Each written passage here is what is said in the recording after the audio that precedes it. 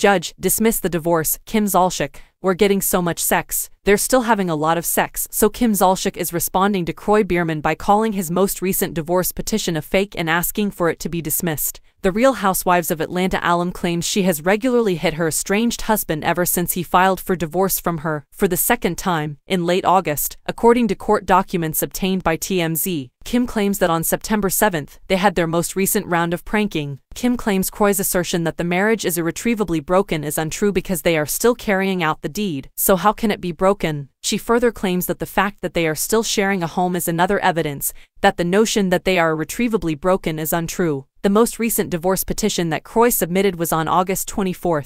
He claims to want out because Kim's gambling issues have driven them to financial disaster. Kim has dismissed the divorce petition. She is still wearing her wedding band and is adamant that they will resolve their differences.